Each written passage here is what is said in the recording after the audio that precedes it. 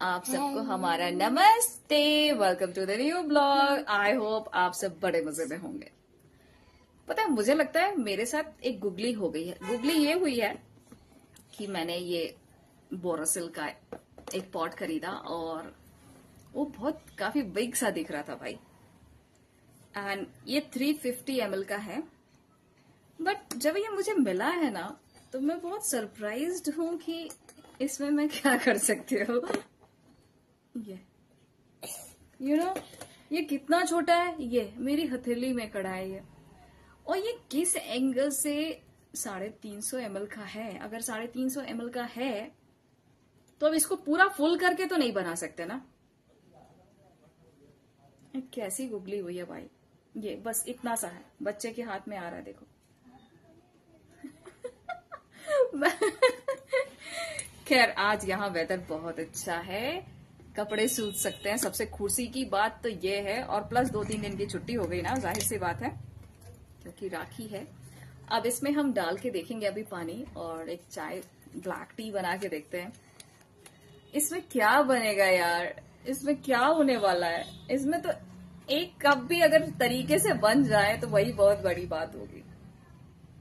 और पिक्चर में तो इतना बड़ा दिख रहा था लाइक सुपर मतलब इतना कैसे? सो so फाइनली इसे वॉश करके गैस के बर्नर पर रख के देख लिया है।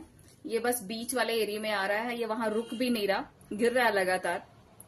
तो मुझे नहीं पता ये किस लिए बनाया है और कितने छोटे चूल्हे पे रखना है। वो टॉय वाले पे रखना है शायद, है ना? या फिर वो जो कैंपिंग वाला होता है, छोटा सा स्टोव होता है, वो भी है हमारे पास, लेकिन वो कहीं और पड़ा, उसको मंगाना है। फ़िलहाल इस क्यूट सी चीज़ को विदा करना पड़ेगा।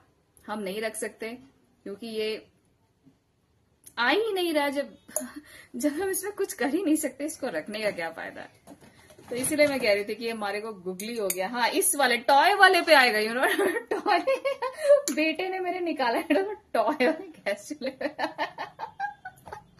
लुक इस पे काम कर सकता है इस पे गैस का कनेक्शन लगाना पड़ेगा। सो so, चलो भाई पैक कर दो इसको कहा इसे पैक करके भेज देते हैं वापस।